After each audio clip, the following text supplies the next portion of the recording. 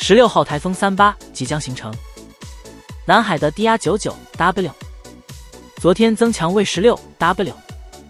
也就是台湾气象署的 TD 十八，未来十二小时内将生成为轻度台风。十月十八日九点，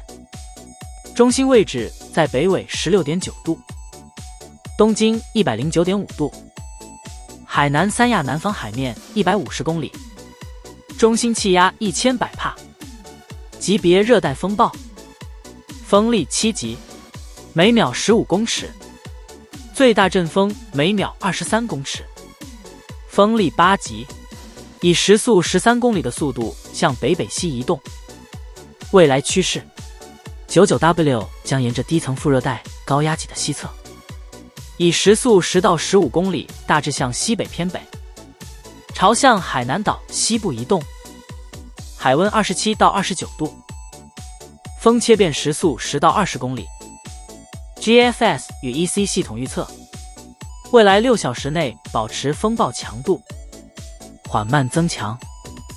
甚至有机会生成十六号台风三八，并在二十四小时左右略有增强，不排除登陆或经过海南岛。到底是不是这样发展呢？请继续锁定竹签星看气象，气象看竹签星所更新的每日天气概况。谢谢大家的支持与爱护。